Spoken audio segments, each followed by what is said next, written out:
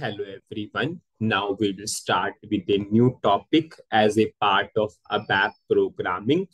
And our new topic is modularization techniques. Firstly, we will understand the meaning of word modularization. Modularization has the word module. Module means small part or small unit so what is modularization? It is a technique which is used to divide the program into small parts or small unit. With the help of modularization, you can divide a program into small, small parts or small, small units. Now the question comes, why we require modularization? Why we need to divide the program into small, small parts or small, small units. We can write the logic in continuous manner. Why we require modularization. Why we need to divide the program into small parts or small units. The answer is whenever you are using modularization, maintenance of the code is very easy. Whatever the code you are writing, we can maintain the code very easily. And in addition to that, we can reduce the code redundancy. We will understand this point by the example itself. How we can maintain the code very easily. This is the program which we developed previously, in which we fetch data from order header, order item table, and we displayed the output. In this program, there is no modularization technique. We have written the logic in continuous manner. We have data declarations. We have select option for order number. We have queries we have loop statements, we have parallel cursor, and we display the output using write statement. This program has very less lines of code. Just think about a project program in which we have 10,000, 20,000 lines of code, and we have written the logic in a continuous manner without using modularization technique without dividing the program into small, small parts. So it is very, very difficult to maintain the code into that program. Suppose same to same program I developed using modularization technique. Just see, in this modularization technique, I have all the data declarations of the program. In this modularization technique, I have all the input. As of now, we have only one input. In this modularization technique, I have all the code to fetch data from order header table, order item table. Just see, this program code is easy to maintain or this program code is easy to maintain. This program code is very, very easy to maintain. Suppose in future, if some issues came into this program, it is very easy to check small, small units of the program to identify the issue. If you are not using modularization and someone asks you to identify the issue in this program, yes, it is very tedious task.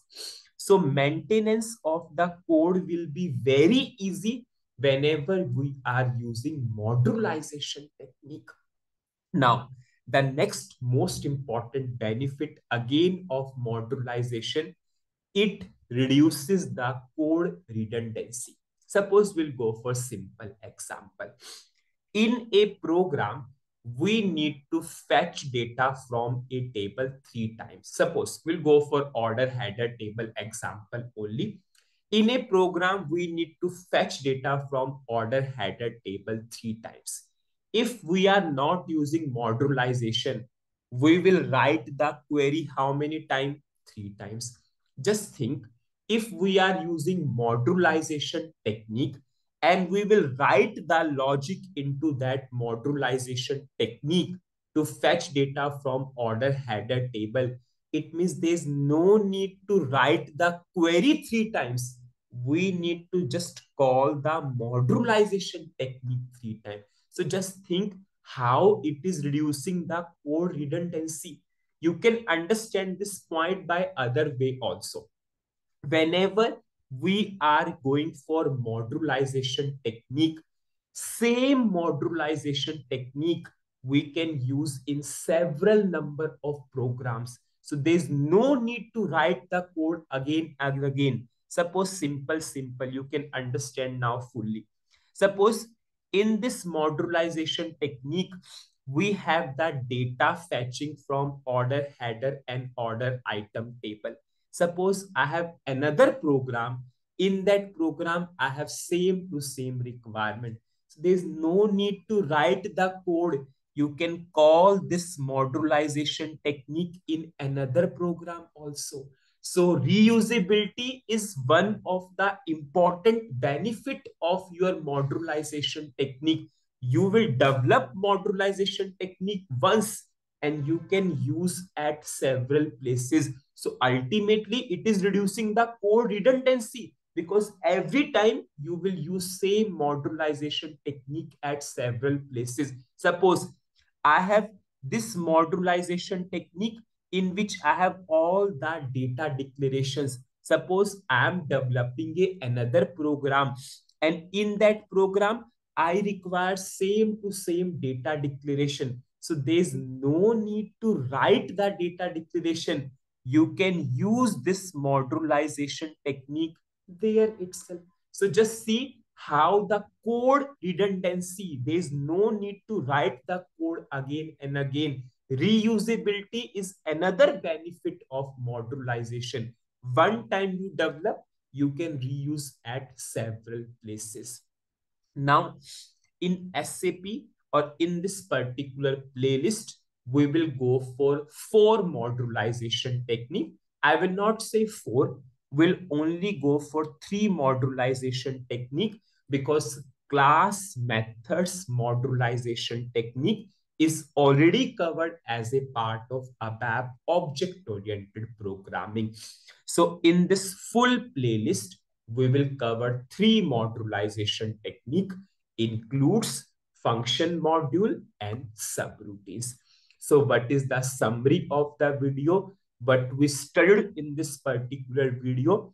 In this video, we started with modularization technique the meaning of modularization is to divide the program into small, small parts or small, small units. Why we require modularization? Because whenever you will use modularization, the maintenance of the code will be very, very easy. It is very easy to maintain the code. It is very easy to identify the issues in a program whenever you are going for modularization technique.